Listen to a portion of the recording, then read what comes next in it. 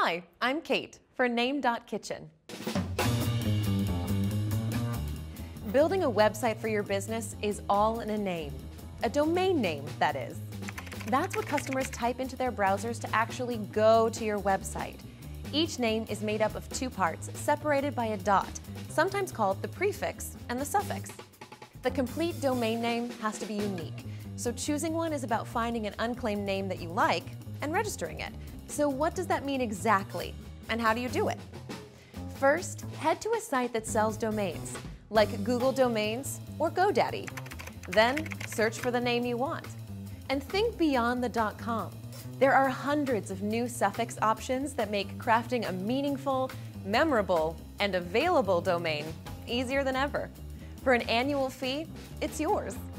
You can renew it for as long as you want to keep it, put your website on it, even sell it to someone who wants it more than you.